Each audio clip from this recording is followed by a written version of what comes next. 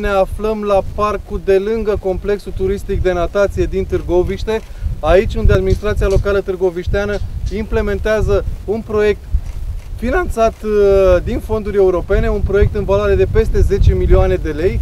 Discutăm aici de un parc pe o suprafață de aproximativ 5 hectare cu foarte, foarte multe facilități de la loc de joacă, uh, de asemenea vor fi piste pentru biciclete, vor fi Uh, arbori, arbuși, va fi o tiroliană, va fi, va fi un mini poligon uh, pentru copii, astfel încât aceștia să învețe regulile de circulație.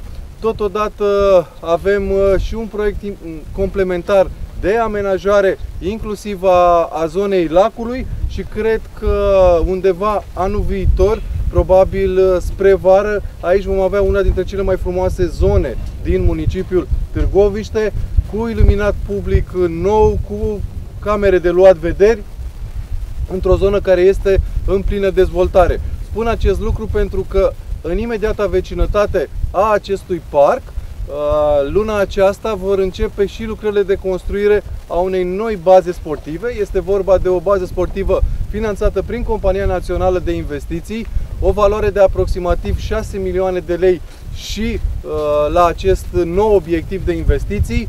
Uh, va fi un teren de fotbal cu tribună 500 de locuri cu nocturnă, de asemenea un teren multifuncțional de volei, basket, uh, tenis, de asemenea iluminat.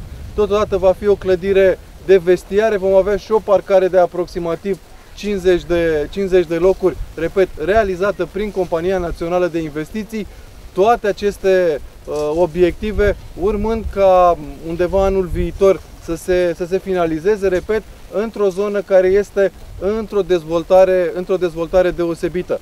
Dacă la aceste investiții mai adăugăm, mai adăugăm și faptul că în vecinătatea complexului uh, de natație, pe latura, pe latura cealaltă, se construiește noua autogară a municipiului Târgoviște.